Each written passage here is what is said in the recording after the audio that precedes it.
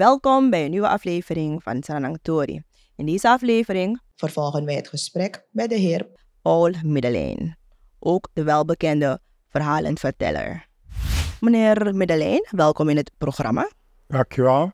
Wat kunnen we leren uh, van andere landen die dus ook een um, vergelijkbare investeringsbeslissingen hebben genomen? En zijn er voorbeelden die u inspirerend vindt? Nee, ik, ik, mij, het grappige is, ik, ik, ik denk niet zozeer in oil en gas. Ik denk in, gewoon in ontwikkeling. En ontwikkeling heeft het, voorbeeld, het voordeel dat je kan gaan als een trein, iedereen in het land. Als je iemand 1 miljoen geeft, is hij geen miljonair. Het geld, het wordt verbelast.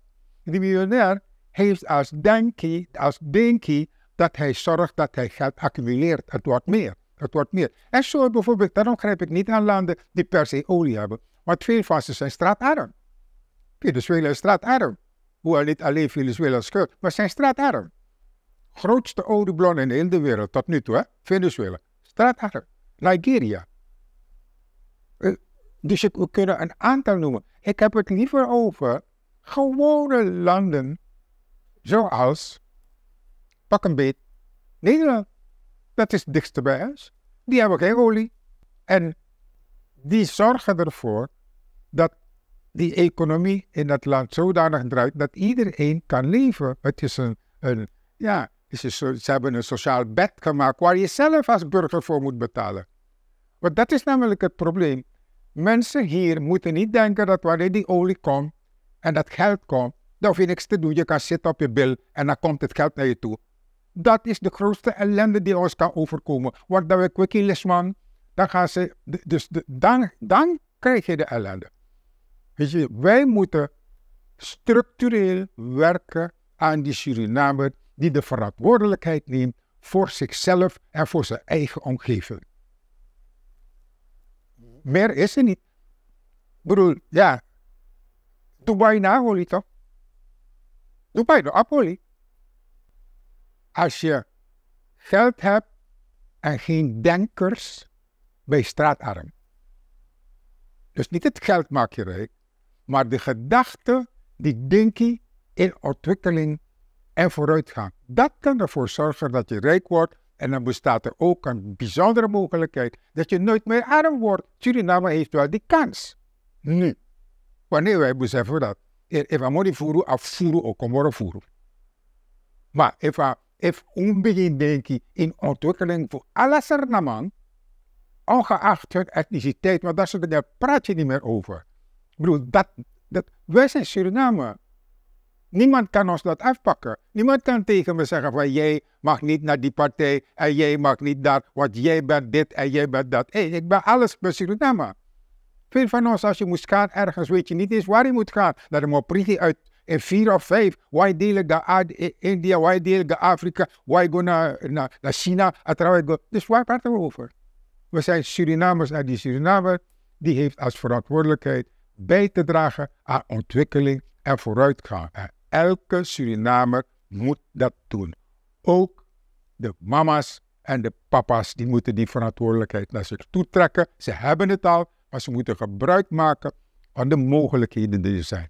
Het, uh, de regering moet zorgen voor een geweldige gezondheidsvoorziening, geweldig onderwijs en dergelijke. En dan heb je eigenlijk de voorwaarden gemaakt voor die samenleving om zich te ontwikkelen naar een prachtige, een prachtige toekomst. Wij hebben dus leiders nodig die niet denken aan de volgende verkiezingen, want dat is een idioot zoals.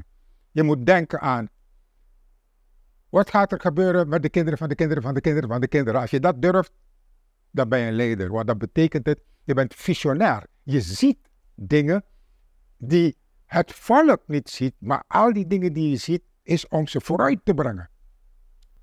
Sommige mensen vrezen dat de FID, uh, eh, vooral grote bedrijven, uh, ten goede zal komen en uh, minder de lokale gemeenschappen. Hoe ziet u dit? Het klopt. Als, jij, als je er niet voor zorgt, als je je niet bewust bent van het feit dat je moet produceren in alle opzichten, dan ga je achterlopen. En alleen de mensen die vooruit hebben gedacht, die komen in het voordeel. En zo is het overal in de wereld. Jij moet je dus voorbereiden op datgene wat er komt. Maar we zijn laat, hè? We zijn laat als het over, praat je over FID, dan praat je over die local content, dat gedeelte. Maar local content betekent dat we allemaal aan de slag moeten gaan. We zouden eigenlijk al een, een geweldige lasschool moeten hebben met high-tech lassers. Die we zouden kunnen inleveren en inzetten. Al dat soort zaken, dat moeten wij doen. En we moeten ervoor zorgen dat je mensen moeten begrijpen. En dus, ik denk dat uh, de beleidsmakers vaker op de buis of vaker in de media moeten uitleggen wat local content inhoudt. Want voor vele mensen is het alleen maar een, een, een kreet, local content. Hè?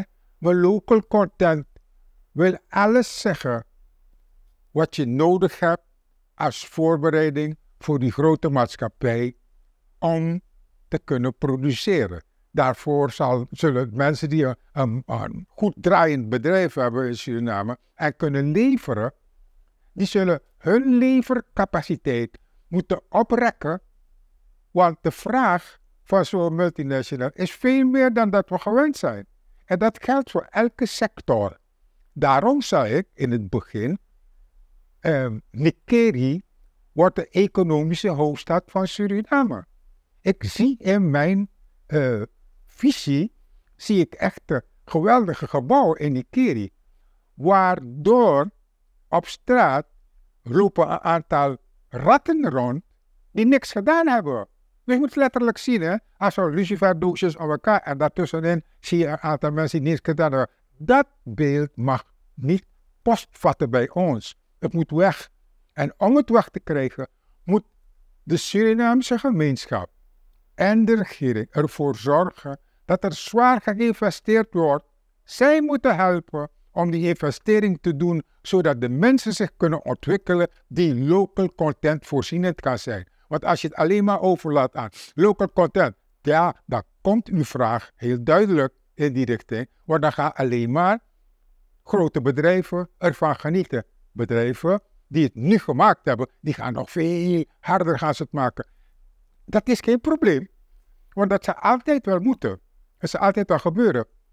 Waar het probleem is, is dat de kleine mannetjes, dat die uh, ook gaan genieten ervan. Ik zie veel dingen hoor. Ik zie dat je door middel van local content bijvoorbeeld, uh, local content is voor mij ook een wegmaken van die Kiri naar Paramaribo. Niet twee, niet twee weg, waarbinnen je moet, moet rijden met, met, met olo, olo, olo, olo en een, een gatenkaart nodig, kaart nodig hebt om, om te gaan. Maar gewoon een vierbaansweg van die Kiri naar Paramaribo en doorgetrokken.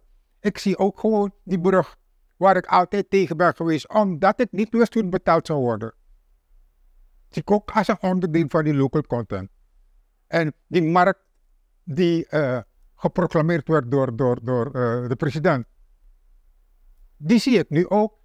Ik zie geen dingen wanneer ik niet weet hoe ze betaald gaan worden. En op het moment toen het gezegd werd, was het absoluut niet duidelijk. De discussie was alleen maar en met name hoe ga je het betalen? En de tweede was, heeft het prioriteit? Nee, het heeft geen prioriteit. Dus gaat het stop. Maar nu nu ziet dat we praten over een contract wat gesloten is, waarbij we heel veel moeten kunnen doen, dan zie ik een keer opbloeien. Inderdaad, ik zie dat, ik zie, ze, ik zie het vliegveld wat, weer, wat wordt neergezet. Want mensen gaan niet alleen maar via helikopter, maar ook via vliegtuig. Je moet internationale verbinding hebben. Je, moet ook, je mag ook een verbinding hebben over de quarantainebrug naar uh, het hele uh, Amazonegebied en daar, daar, daar verder in, in het Caribisch gebied. Geen enkel probleem daarbij. Dus nu zijn mogelijkheden open. Maar ik ga daarmee misschien een beetje voorbij aan de vraag uh, wat die local content nou betekent en hoe het voordeel zou hebben voor, voor alle mensen. Ik denk dat wij in Nikeri een plek gaan hebben waar die ontwikkeling booming gaat zijn. Omdat uh, ontwikkeling is je ontwikkeling. Is dat? Uh, niemand ontworstelt zich aan een ghetto wanneer je, wanneer je binnen die ghetto blijft. Wanneer je het beter gaat doen, is het moment waarop je kan ontworstelen aan de ghetto, dan ontworstel je je ook aan de marginaliteit. En dat is in Suriname wat er moet gebeuren. Want er zijn gigantisch veel mensen die binnen een bepaalde marginaliteit zitten en werken, hosselen en hun ding doen en zo. En verder geen structuur hebben gegeven. Dat moet veranderen. We moeten, gaan, we moeten beginnen te denken in I. Kidema kom. Dat voorzitting kom. Jouw kleine hossel moet geen kleine hossel blijven. Maar je kleine hossel kan een echte hossel worden. En jouw kleine, die, die echte hossel kan een, geen, geen standje meer worden. Maar het kan een, eh, ja, het kan 6 bij 6 worden. Of 6 bij 20. Maar we moeten groeien. Suriname moet ook denken uh, aan de verschillende mensen die onderling coöperaties moeten, coöperaties moeten aangaan. Dat is dat wij gaan samenwerken. Alleen heb jij het geld niet en ik heb het niet. Ik heb een beetje, jij hebt een beetje en die hebben het. Dus ja, er moeten co uh, coöperaties ontstaan. Samenwerkingsverbanden. Waardoor jij meer power hebt om te werken en om dienstbaar te zijn en eigenlijk invulling van local content te geven. Wat zou je boodschap zijn aan uh, de mensen die zich dus zorgen maken uh, over de nationale koers die Suriname kiest met betrekking tot uh, gas- en olieontwikkeling? Eigenlijk heb ik het een beetje gezegd, dat, dat, dat hele ding, maar niemand moet bij de pakken gaan zitten en niemand moet ook denken dat het je uh, komt aangewaaid. We zullen er allemaal hard voor moeten werken. Zo even schetste ik al het feit dat je coöperaties moet maken. Het feit dat je bij elkaar moet komen en gaat tackelen. En niet op in je eentje gaat denken van, ja, ik ga dat ding alleen doen, want jij doet niks alleen. De hele wereld zit met elkaar samengevlochten. Je doet niks alleen. Dus je gaat het samen moeten doen. Je gaat samen een visie moeten ontwikkelen. Er is verantwoordelijkheid ook voor de mensen die zich uh, politici noemen en nu voor de verkiezing staan. Om om op basis van zuiverheid met het volk om te gaan. Niet op basis van verhaaltjes. Gewoon zuiverheid. Kijk, dit zijn de feiten. En op deze manier gaan wij ermee aan de slag kunnen gaan. En dit is het aandeel van het volk om ermee aan de slag te gaan. Want als je dat niet hebt, dan blijf je in de, in de ruimte draaien en, en, en, er, en er gebeurt niks. Dus wij moeten met z'n allen beseffen dat die ontwikkeling vanuit onszelf moet komen. Elke Surinamer, ongeacht wie zo Takomopo, moet eraan meewerken dat wij ontwikkeling kunnen brengen bij onszelf. Het begint bij onszelf en bij de, bij de, bij de buren, bij de straat. In de, dat hele ding is een samenwerking toch. Het is net een ketting. En die ketting is altijd zo zwak als een zwakste schakel. Laten we proberen om sterke schakels voor elkaar te zijn en elkaar te ondersteunen waar we zwak zijn. En samen de strijd aan te gaan. Want we beginnen met local content en straks gaat het om miljarden die gaan binnenkomen. Tot slot, hoe ziet u de toekomst van Suriname als de FID wordt aangenomen? En die FID is al aangenomen, toch? Die FID is al aangenomen. Men heeft uh, Suriname vertekend, het is overeengekomen dat uh, het geld wordt geïnvesteerd in Suriname om die olie naar boven te krijgen. En uh, ja, ik zie dat een positieve, positieve zaak. En gewoon, de waken, honden moeten wakker worden en weten dat je met dat tweede geld heel veel kan doen. Als je er op een goede manier mee omgaat. Het gaat allemaal om good governance en uh, good management. Wat zijn de belangrijke factoren voor succes uh, en hoe kunnen we dus samenwerken om uh, dit te realiseren? Ook, ook even terugschakelen. We moeten be be bewust zijn van het feit dat ontwikkeling begint bij ons. Ontwikkeling begint bij de kinderen. Als de kinderen, als wij ervoor kunnen zorgen dat we de kinderen op school, uh, op vanaf de peuterschool, ethiek, dus waarden en normen bijbrengen, dan hebben we ook volwassen, volwassenen die respect hebben voor elkaar en respect hebben voor ethiek. En waar, dat wordt gewoon uh, een automatisme. En daar begint alles mee. Dat is ook mijn, mijn, mijn uh, ja, het is mijn, mijn stokpaardje. Begin bij de kinderen en je hebt een, een goede toekomst. Wanneer je die kinderen informeert en ze opvoedt binnen het waarde- en normensysteem, dan krijg je halfvolwassenen en volwassenen die respect hebben voor elkaar, die respect hebben voor de waarden en normen die gelden in de maatschappij. Niet alleen in Suriname, over heel Suriname. Dus wat je maakt zijn internationale burgers. En dat zijn wij.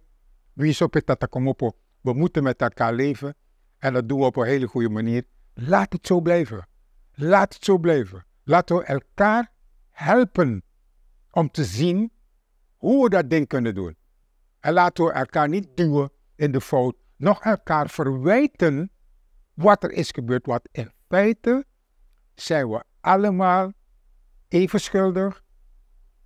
We zijn slachtoffers en we zijn, en we zijn schuldig. Maar door al die ervaring en al die tijd zijn wij de winnaars. Wij zijn, als wij dit gesprek kunnen voeren in Suriname, dan zijn wij winnaars. En ik weiger om een slachtofferrol aan te nemen. Ik wil winnaar zijn. En zo voed ik mijn kinderen ook op. En dat betekent dat je gaat als een trein. Je kan niet anders. Als je stopt, dan schiet je wortel. En, ja, een wandelstok. Maar als mens wortel schieten, blijf ja. Dat was het voor wat betreft deze aflevering van Sranang Tori. Bedankt voor het willen kijken. Heeft u een onderwerp dat u wilt belichten? Dan kunt u ons gerust een WhatsApp bericht sturen op het nummer 8485816. En vergeet niet onze socials te volgen. Stranantori. Snel, scherp, altijd bij de tijd. Thank you.